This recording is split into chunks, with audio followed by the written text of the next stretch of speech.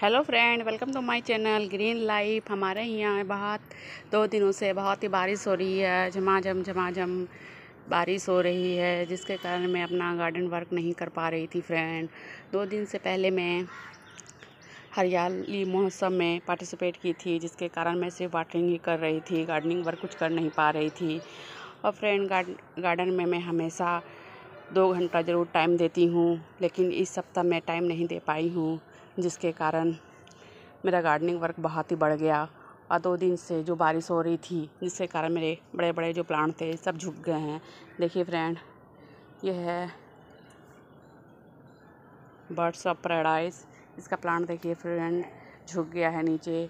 फिर ये है चंपा का प्यूमेरिया का प्लांट ये भी देखिए, पूरी तरह नीचे झुक गया है। वही सब आज गार्डन वर्क करने फ्रेंड छत पे आई हुई कि थोड़े थोड़े करके अपना गार्डन वर्क कर लेती हूँ।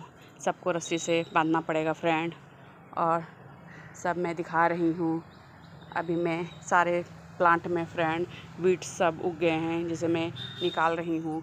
देखिए वीट सब उग जाने के कारण प्लांट में ग्रोथ नहीं होता है।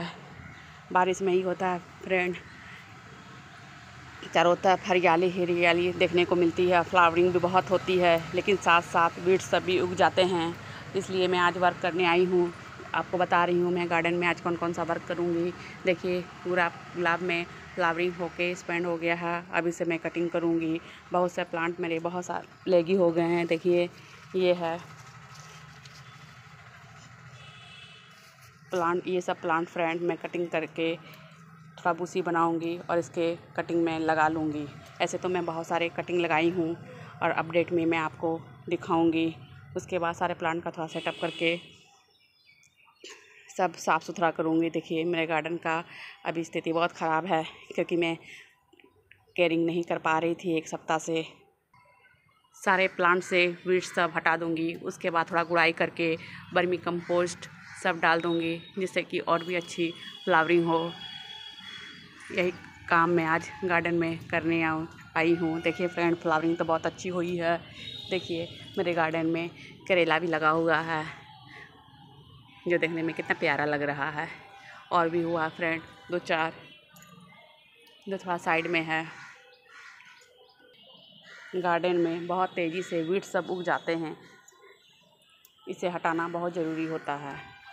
क्योंकि अगर आप वीट सब नहीं हटाइएगा और टाइम टू टाइम सब प्लांट का कटिंग नहीं करते रहिएगा तो टेरेस में फ्रेंड पूरा बूसी हो जाता है और लंबा लंबा लेगी लेगी अच्छा भी नहीं लगता है।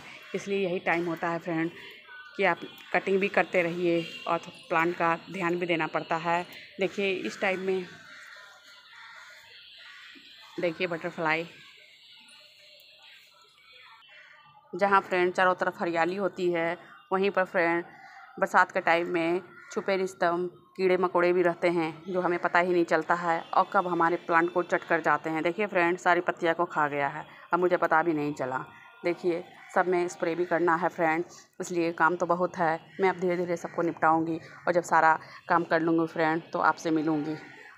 देखिए फ्रेंड ये तो दिखाना ही भूल गई। कितना सुंदर कलर है, थल कमल का। दिखने में बहुत प्यारा है। बर्ड्स भी बहुत सारे बने हुए हैं। लेकिन ये मेरा दूसरा फ्लावर है, जो खिला हुआ है। अगर वीडियो पसंद आए फ्रेंड तो लाइक, शेयर कीजिएगा और कमेंट करके बताइएगा कि आपको वीडियो कैसा लगा। Thank you friend happy gardening bye bye